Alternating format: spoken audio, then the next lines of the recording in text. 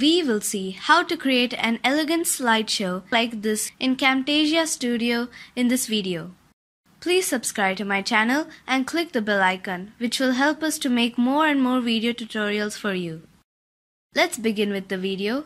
First import images for slideshow here.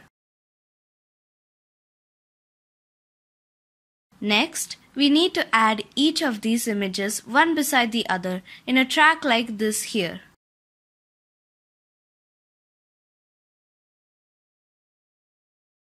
Next, we need to add transitions in between this image to give us an elegant slideshow look.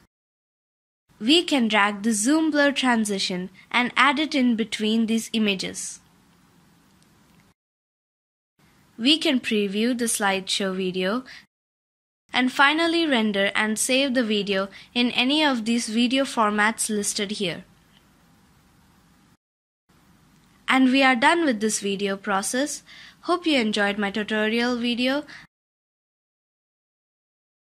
Do not forget to subscribe to my channel and click the like button to get updates.